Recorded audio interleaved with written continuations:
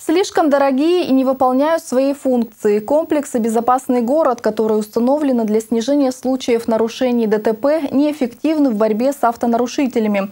Об этом говорили сегодня на заседании комиссии собрания депутатов по бюджету и экономической политике. Ежегодно на обслуживание аппаратно-технических комплексов из бюджета округа выделяются миллионы рублей. Однако количество нарушений остается практически на прежнем уровне. На обслуживание 12 стационарных комплексов «Безопасный город» запланированы 13 миллионов 639 тысяч на 2018 год. Эти средства необходимы для исправной работы оборудования круглый год. Однако сказать, что они исправно выполняют свою функцию, нельзя. Нарушений скоростного режима меньше не становится. Из дня в день у нас нарушение, фиксация нарушений увеличивается и увеличивается. Штрафы за превышение скорости даже в тех местах, где установлены камеры, ежегодно выписываются на сумму свыше миллиона рублей. Рассматривая смету затрат на содержание автоматических комплексов, у депутата возник закономерный вопрос. Вы предлагаете заложить в бюджете 13 миллионов 639 тысяч рублей.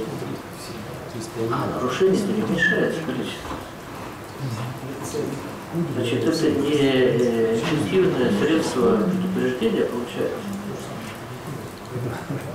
Значит, вам совместно с ГИБДД необходимо принимать какие-то другие меры, тем, чтобы снижать э, количество нарушений. По итогам торгов сумма на содержание комплексов может снизиться, но совсем отказаться от их эксплуатации невозможно, сказал Алексей Еремеев. Аппаратные установки должны работать в каждом субъекте и содержаться на региональные средства. Полномочия переданы на округ. Независимо от того, сколько мы собираем штрафов, мы будем обязаны эти комплексы содержать.